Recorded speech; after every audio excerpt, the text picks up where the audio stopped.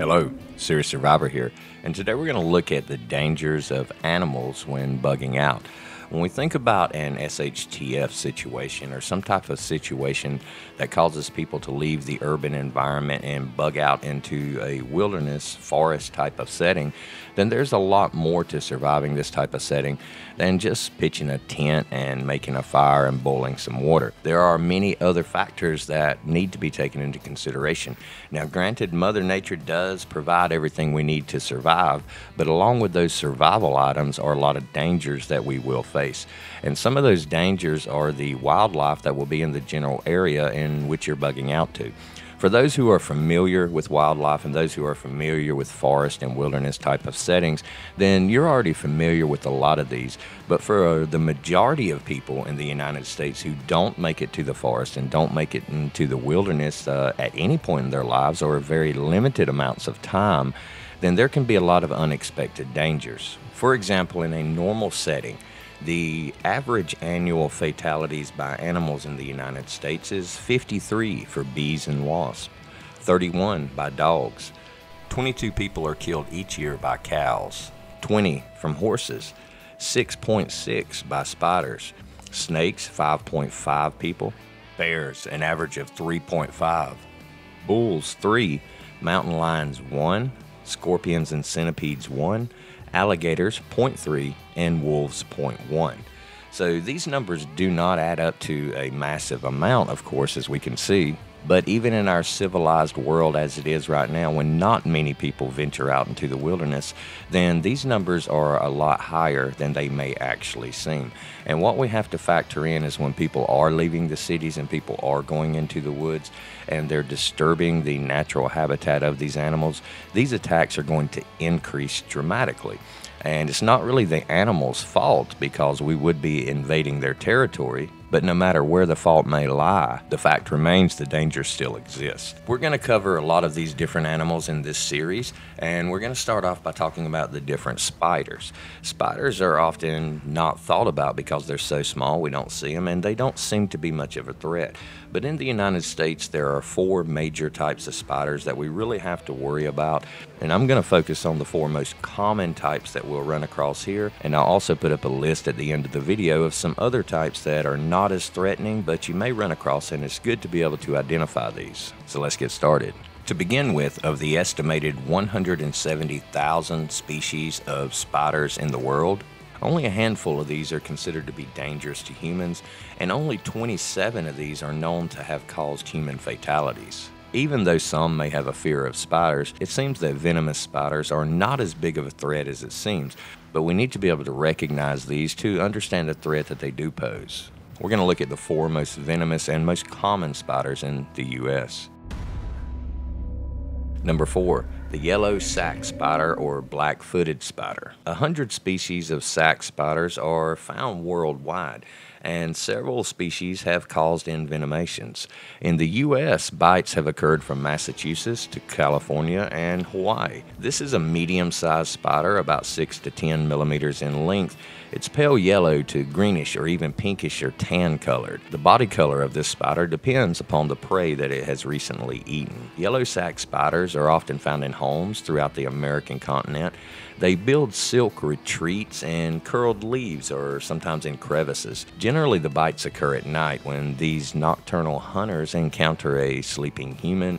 Yellow sac spiders are believed to be responsible for the majority of nuisance bites to humans in North America. This species has a mildly toxic venom Bites can be very painful and can cause skin irritations. Even though these wounds may become slightly necrotic, they usually tend to heal rapidly with little to no scarring. But keep in mind that not all spiders would be considered venomous or deadly, but just like bees and wasps, there are a lot of people who will have an allergic reaction to any type of these spider bites, so being able to recognize these is of the utmost importance.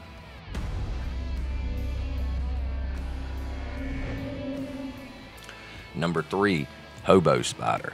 These are found in the western USA from Washington to Oregon, Idaho, Montana, Wyoming, northern Utah, and Colorado, as well as southwestern Canada. They commonly live in dry or arid environments. These brown spiders measure roughly 7 to 16 millimeters, or a third to two thirds of an inch in body length, and 16 to 50 millimeters, or two thirds of an inch to two inches in leg span.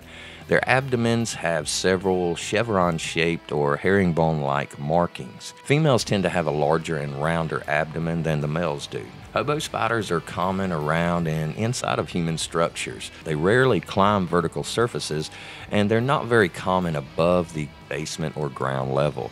They build a horizontal web and retreat into a hole or crack in the brick walls or wood piles while they await their prey. Hobo spiders are known to be quite aggressive and they will bite with little to no provocation. In recent times, they've been known to cause damage in the U.S. Pacific Northwest, although this species was accidentally introduced to North America from Europe as recently as the 1900s via commercial shipping. The symptoms of a hobo spider bite are similar to that of the recluse spider, only with a lesser severity. Though the bite of a hobo spider is initially painless, it can be serious. A redness will first appear around the site, which will develop into a blister after about 24 hours. Then it will break open, leaving an opening, oozing ulceration. The bite may also cause severe headaches lasting two to seven days, and even nausea, weakness, fatigue, malaise, or temporary memory loss and vision impairment. Severe lesions will take several months to heal. Medical attention should be sought immediately when bitten. Number two, the widows. These comprise 32 identified species. It's found worldwide. This species has been considered problematic for a long time due to the difficulty associated with morphological features exhibiting geographic variation. The black widow spider and southern black widow are the most common species in North America, and they occur throughout North America from Canada to Mexico and even in the West Indies. The black widow measures approximately 1.2 centimeters or a half inch in body length. The female is normally shiny black with a yellowish orange to reddish colored hourglass. Sometimes this is just a dot uh, marking on the underside of the abdomen. Black widow spiders need some kind of shelter and can often be seen in small crevices, wood piles, rubbish piles, under stones and hollow stumps, sheds, garages, anywhere that they can hide. Indoors, they are sometimes found in undisturbed, cluttered areas in basements, in crawl spaces, underneath homes. They build strong retreats close to the ground, but they can also spread their web over plants. The black widow is notorious at being one of the most venomous spiders in the world. It inflicts a painful bite which can be fatal, especially to the young and elderly. Only a small amount of venom can cause serious illness, as the neurotoxic poison, which is 15 times as toxic as the venom of a prairie rattlesnake, attacks the nervous system. Systematic envenomization usually results in headache, nausea, vomiting, abdominal pain, pyrexia, and hypertension. First aid and medical attention should be sought immediately. People with heart conditions or other heart problems will require hospitalization. But less than 1% of all people bitten by this type of spider actually run the risk of dying, and most of them are saved with the use of an effective anti-venom, and this was developed in 1956. Other North American widow spiders are the red widow, found in Florida, the brown and gray widow, the western black widow, and the northern black widow. Recluse spiders. There are 11 species of recluse spiders in North America. The brown recluse spider. This highly venomous spider is thought to be the most dangerous recluse spider.